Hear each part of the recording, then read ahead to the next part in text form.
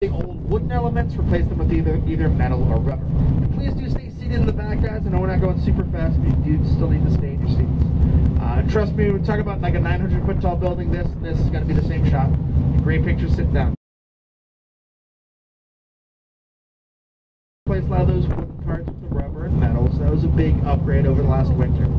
Uh, now, one big upgrade that happened in 2006, a few years back, was the Chicago Harbor Lock Towers.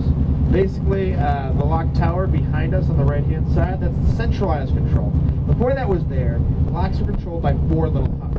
Have seen the two behind us, and you can definitely see the two in front of us by each door. It used to be controlled by these two little huts on either side that would control each individual door. So it was a big upgrade when they moved to the control tower there. It was a pretty nice upgrade. But perhaps even more impressive was an upgrade they made to the huts themselves last summer. Last summer, they changed these huts because until then, these huts had been painted beige. Now, they're painted gray! Not really that extreme of a change. See that the locks can get a little bit boring. It's basically a big concrete slab we're stuck in. But don't worry, folks. Lock doors are opening. And when they open all the way, we'll hear a great big buzzing sound letting us know it's safe to get out of the locks and onto the Chicago River. That should happen, I don't know, about five, four, three, two, one. I was pretty close. That's, that's like a one second off thing there. I was uh, I was going by metric time. That's that's what screwed me up there. But so we are getting out of the locks onto the river now. And don't worry, that buzz is a good sound. I know it sounds like somebody just guessed, uh, you know, Dick Van Patten when it was really Dick Van Dyke and you know Match Game or something. But uh, don't worry, we're getting out of the locks onto the beautiful Chicago River. Look on your right hand side, you'll see a building you may have noticed on your way into Navy Pier this morning. Lake Point Tower. It's a curvy black building here, completed in the late 1960s. It's a bit of a tribute to a huge architectural figure in Chicago, Ludwig Mies van der Rohe. Two students, Heinrich and Trip Rolf, built this as kind of a tribute to him. Actually based on one of his designs from back in the 1920s. Now, uh, over the years, Ludwig Mies van der Rohe became a huge icon, but this one design he had back in the 20s never got built until the students made it. Thing is, they had to change something about the design. You see the building today? It kind of has three lobes, or you look from up top, it's like a funky little Y shape, like a three-leaf clover almost. That's a little bit different from the original design, which is actually more of a four-leaf clover or big X-shaped design. There are a few big reasons you do not want to have a big X-shaped building. First of all, there's wind resistance, and a windy city, wind can be a problem. Y shape is very good at deflecting wind, like Wonder Woman's bracelets. Not that I've worn them, but uh, it's very good at deflecting wind, unlike the original X-shaped design. Another big problem with the X-shaped design, as you might imagine, is the view. Think about any big X-shaped building is going to have some problems. Your views pretty much are going to be into other windows. I don't know about you folks, but I would rather have a lakefront view than a creepy That's just me. Who prefers the lakefront view, the creepy pervert view?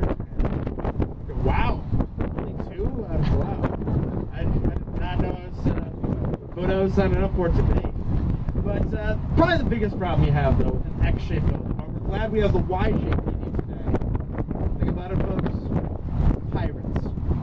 Pirates see a big X on the map. They're gonna think there's treasure here. Especially as with it being right on the waterfront, you can imagine that X shape. and it's constantly trying to dig up the foundation. That's terrible. That's like termites that are six feet tall with swords. It's really intense. You do not want to have to deal with that. We have the design we have today. Probably noticed in front of us we have a bridge, the Lakeshore Drive. Also known as the Franklin Delano Roosevelt Steel Bridge. Actually dedicated by Roosevelt on the evil World War. That's how important Chicago is. Even with World War breaking out, when America's about to get involved in one of the hugest conflicts in the world history, he decides to come over to Chicago to dedicate a bridge. That's how cool we are. But like all of our bridges we're going to be going on today, our fast bridge, this is a seat down that goes up and down on either side. It's two big sets of seesaws, kind of like this.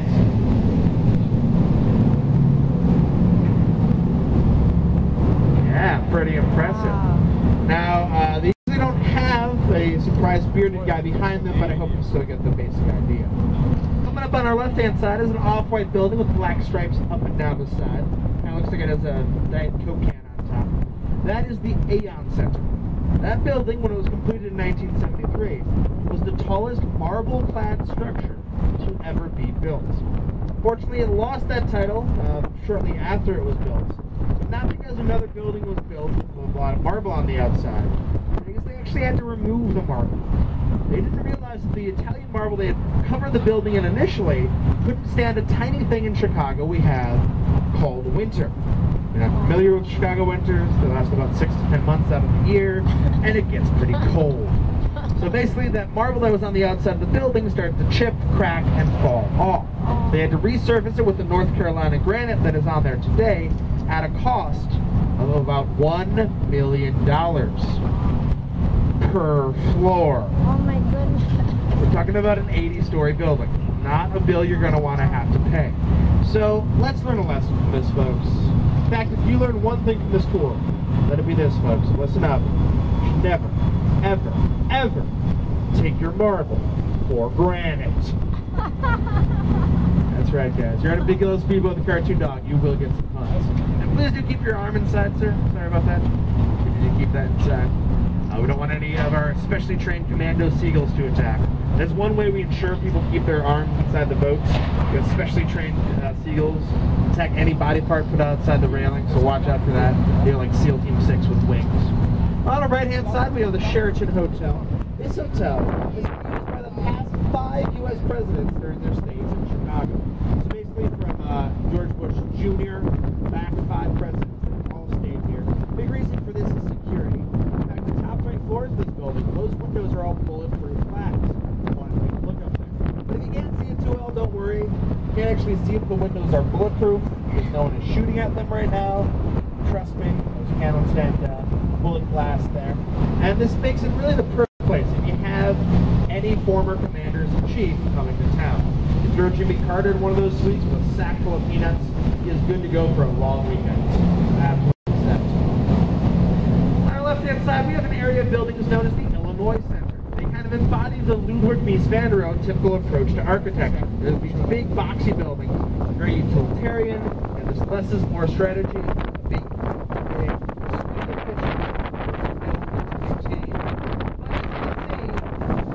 They're all incredibly boring. There's big. Anyone in their Two Illinois Center is their favorite building in Chicago. But they are efficient, so you have to take that trade-off to some degree. They're very, good as office buildings. In fact, they're so efficient. These were built on the old Illinois Central train line. Went from the Illinois Central train line to the Illinois Center uh, series of office buildings. They went from train to office building, only changing about three letters. Now, that's not efficiency.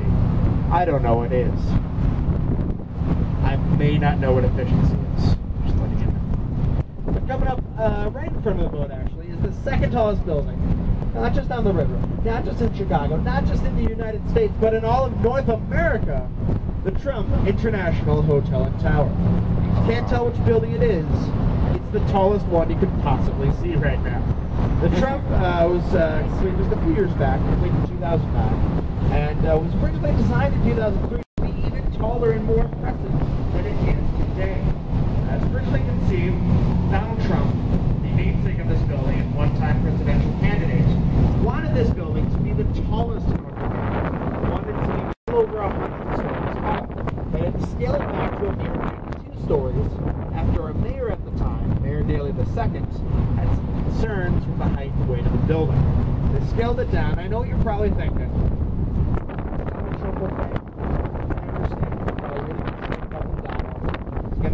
But don't worry. 92 is a sentimental number for Donald. It's not only the number of floors in this building, it is also the number of hairs on his head. Really, I hope it makes you feel a little bit better. Now, if you're looking for some cool condo space, you might want to check out the Trump. In fact, they uh, recently had a posting on Craigslist, penthouse condo here, going for a steal at $32 million for a condo. Now, uh, as amazing as that is, it's possibly even more amazing that this was posted on Craigslist. Think about it, folks. Isn't that where you get like a used sofa from? Not necessarily a $32 million condo. It's like going to a yard sale for your rent wedding dress. It's just not a smart idea. Probably shouldn't do it. Coming up on our left-hand side, we have this dark gray and black building, kind of an ominous tower here. This is the Leo Burnett building, the Leo Burnett Advertising Agency. The company inside of there, those are the guys who created Toucan Sam, Tony the Tiger, the Jolly Green Giant, and the Pillsbury Doughboy, just to name a few. You're wondering how I know all this about the building, all I'm allowed to tell you by contract is this.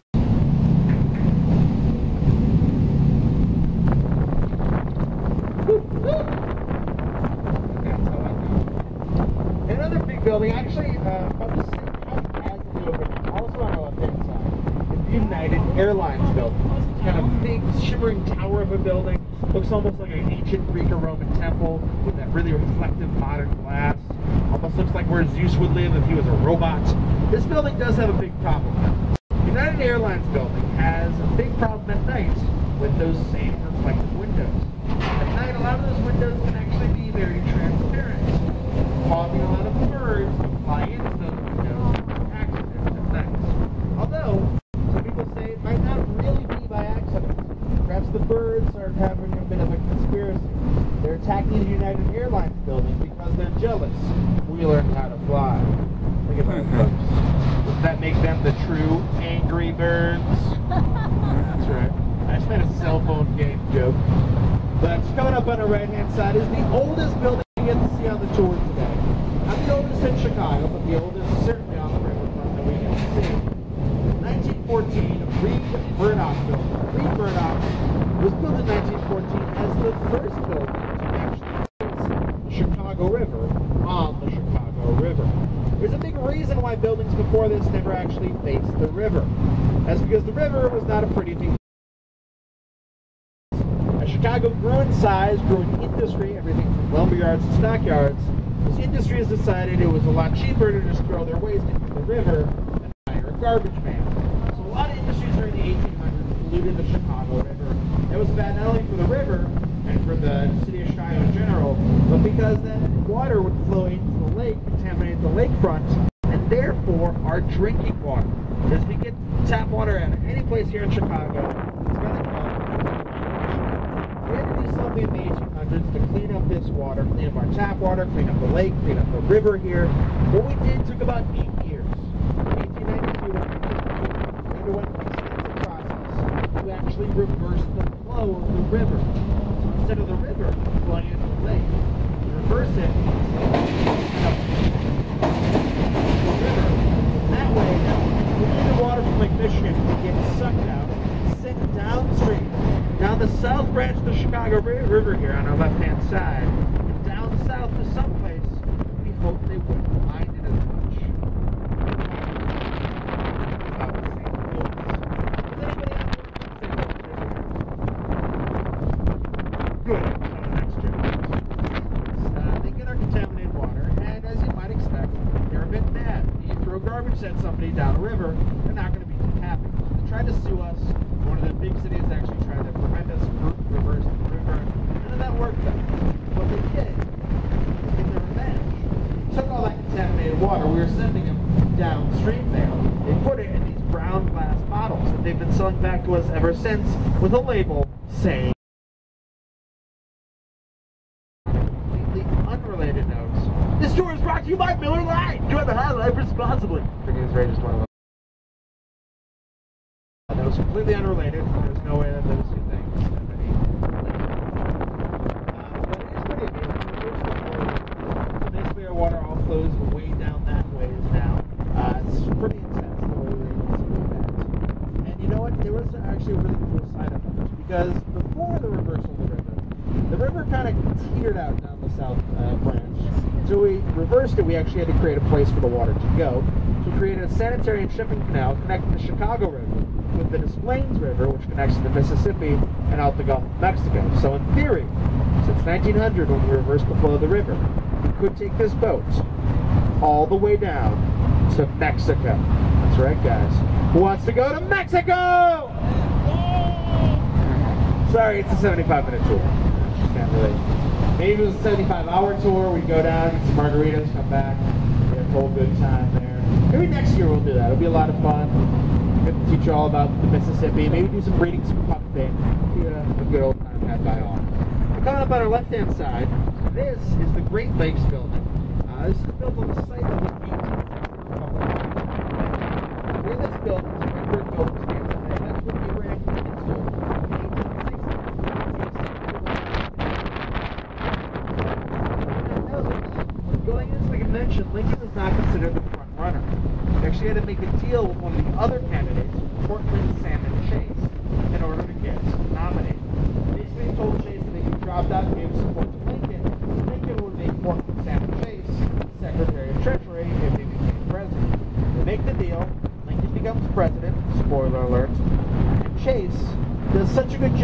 made Secretary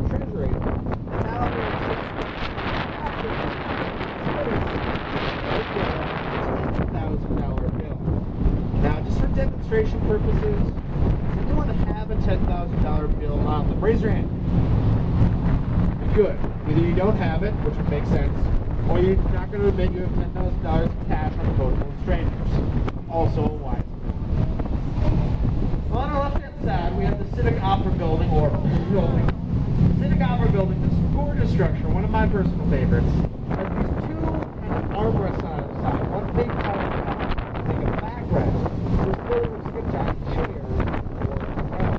I'm just going to pause this uh, story for a second and say that I'm sorry, for Fleming. Maybe your singers don't I do. But uh, as I was saying,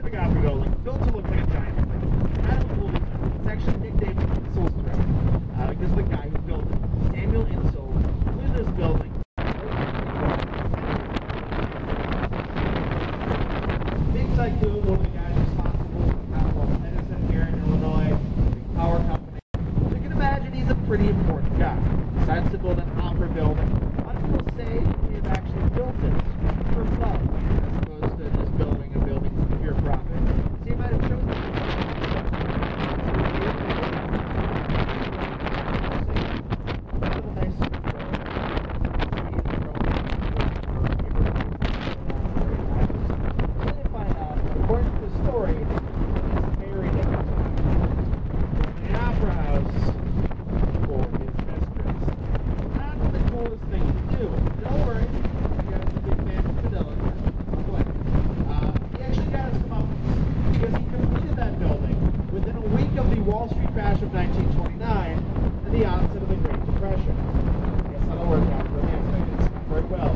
was no do too well during the Great Depression. It loses a whole bunch of money. Going to the us important lesson. You should always be faithful to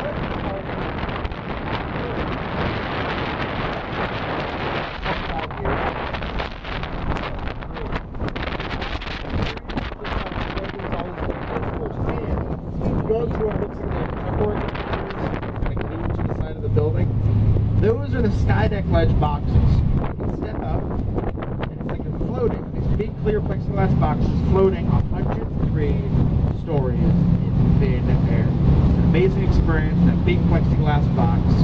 Please folks, it is not the experience for some of you. If you have a fear of heights, I would not recommend it. I also not recommend that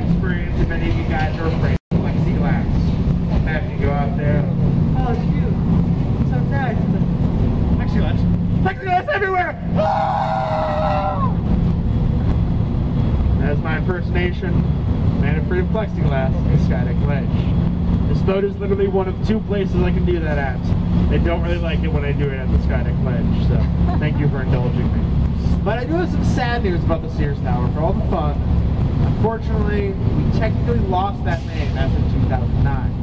A company out of England, the Willis Trading Company, leased out enough space in the building, which was nice enough. They leased out a whole bunch of space. So They leased out so much, they actually got the naming rights. For at least the next decade, that building will legally be Willis Tower. We're not big fans of that here in Chicago. We still like to call it by the old name. We still call it Sears Tower. Who's with me? Yay! Yeah, that's what we're talking about, Willis. That's someone with me. Way to go, man. Appreciate it. We'll take down Willis all by ourselves. Very cool. Hello. Now, on our right-hand side, we have the Chicago Mercantile Exchange. This big U-shaped building is what's called the Futures Exchange, where people go to buy and sell what things are going to cost in the future. In other words, it's a place where a lot of wizards and fortune tellers work. Pretty sure that's the only people who could possibly work at a place like that. Maybe David Blaine. That's probably it.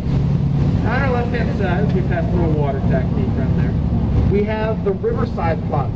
This building was built during kind of a bit of a craze in the 1920s over Egyptology. And so I actually designed it in part to reflect the Sphinx over in Egypt. See those little clock towers out front? Those are supposed to look like paws, uh, as opposed to the rest, which is the body of the Sphinx. Nice little Sphinx-shaped building. But please, folks, avoid this building. Uh, uh, because frankly, we here at the Sea Dog, not big fans of giant stone cat buildings. In fact, I think it is my duty as a member of Sea Dog to do this. Sorry, it's just it's a natural infrared thing um, we're working at Sea Dog. But uh, also on the left-hand side, the building I highly recommend, the Boeing building. If for nothing else, then you can go into the lobby, you can call it the Boeing building and make it really, really upset. A lot of fun. Try it for yourselves. This building has the one side that's a bit lower, the one side that's higher, making a big reverse L-shaped building. The reason for this is that the lower half, the kind of bottom part of the L there, that lower half on that side is actually on a bit less stable ground than the taller half of the building. And in fact, the ground over there was so unstable, most of the weight of that section of the building is actually supported from the top off the other side of the building, cantilevered off, like a set of big hanging curtains. They're able to kind of work around their uh, their misfortune there. It was a nice way they were able to uh, kind of work around uh, their own plot of land. But one of the coolest features that building has is a helipad. You can, in theory, land a helicopter on top of that building. You can do it every day if you work there. And that makes sense.